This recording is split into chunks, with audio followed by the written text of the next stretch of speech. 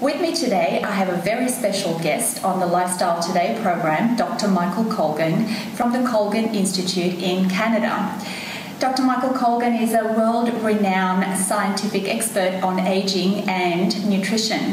He has PhD in nutrition and has authored over 21 books. And um, his latest books is, uh, book is called Anti Inflammatory Athlete at Any Age. Just to mention some of his books Beat Arthritis, Protect Your Prostate, Sports Nutrition Guide, New Power Program, I guess that's for athletes.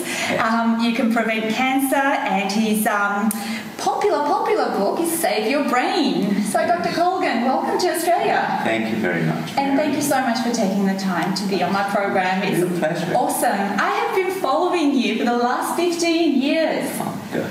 So, um, you know, that's how he's been around for a long, long time. And I have learned lots from you. So, as we go through the interview, we want to talk about the athletes that you have trained, but particularly you're traveling all around Australia and you're talking about brain and how we can Yes. really save our brain and be the healthiest individuals. Right. Okay, so in Australia now, as you may know, we have over 280,000 people diagnosed with Alzheimer's disease. What's happening to our country? How can we help these people? Well, nobody really can pinpoint the cause, but in most westernized countries, the United States, Canada, Australia, New Zealand, Yeah. Alzheimer's has gone from being a, a fairly rare disease to now in the United States it's the sixth leading cause of death. Wow. And we think it has a lot to do with what we've done to the environment. hmm the pollutants in the air, the water, the food. And of course, the population is living longer, so there's more time for dementia to start. Right.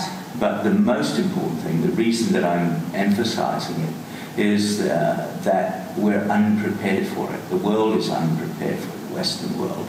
In fact, there was a dementia conference in Melbourne on 23rd of February Really? at which the, uh, the head of uh, Alzheimer's Australia said it is a tidal wave.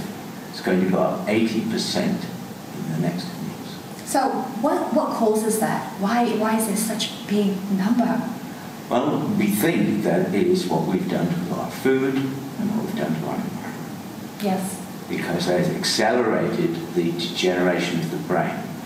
The brain is very tough, but um, there are many toxins in our environment now that our DNA was not experienced with when it evolved, and therefore these toxins are absorbed and taken up by the brain and other organs um, with no defense.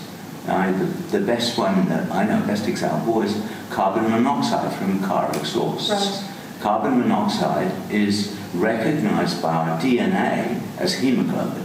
So it's taken straight into the bloodstream Okay. and will kill you without even the body making any type of defense. That's shocking. Our Yes. car is killing us. Yes, that is the main major pollutant in Australia is the family car. Yeah, and we have two cars per household these days, not just one. So we're creating our own problems, really, Right. aren't we? Right. And we're not doing anything to combat that. It's very difficult, of course. I'm all for green, clean energy and uh, electric cars and things, but the transition is very slow. So we have to try and do something to protect the brain uh, in that interim period. Yes. Um, you are 72 years Yeah. young. so Well, it does work. It does work. So we want to sort of, I know you're going to be presenting this in the seminar here today, but we just want to pick your brain and just say, you know, how do you stay that young and so vibrant and strong? Because I saw you doing some one-arm push-ups on the weekend Oh, at the conference. Everybody wants to know the training program to that.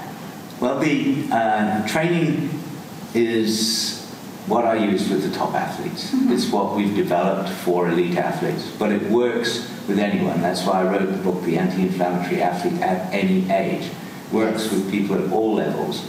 It's not what is commonly done in gyms and uh, in training, Okay. but it's what I've done with the strongest men in the world. Two of the fastest men in the world, Donovan Bailey and, and Leroy Burrell, both were on my programs when they broke the world 100 meters record. Wow, that's amazing. as you say, they're not typical things that you would see at the gym. No, they're not. I, I saw a picture of you. You were doing um, some cable work. Yes.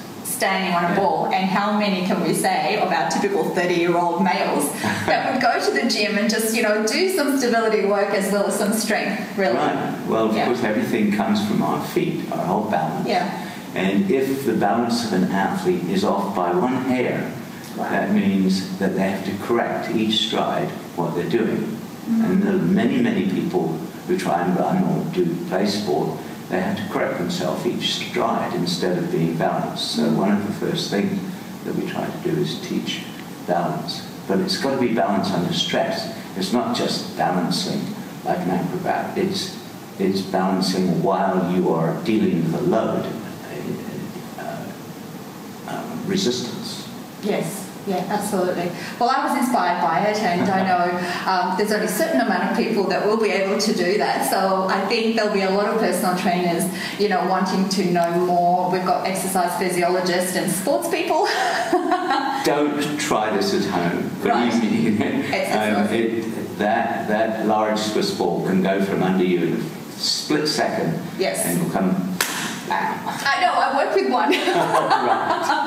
so it, it just depends. There's only a handful of people that I can have them doing, um, you know, squats on the ball as, right. as you have done but you or whatever. but yeah. the Bosu ball, Yeah. ball. Mm, absolutely. Now, you have trained many, many athletes, and um, I just want to mention a few of them because even just mentioning a few of them, Uh-huh. it's. it's yeah, but let's particularly talk about Dick Telford uh, Oh, with the Australian Institute of Sport. Uh, what did I you do with him? Well, no, I didn't train Dick. Dick trained me. Oh, Dick trained you. Yeah, I went Okay. to the Australian Institute of Sport, Yes. and he taught me with the 1980 Olympic swim team how to take lactic acid samples from swimmers' ear and how to calculate.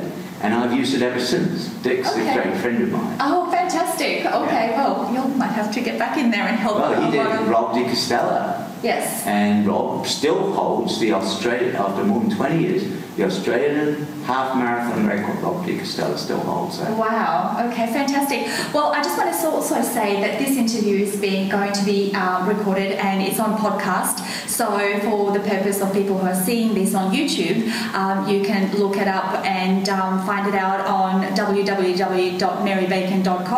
And it's an interview that's being recorded for Alive 90.5 on the Lifestyle Today program.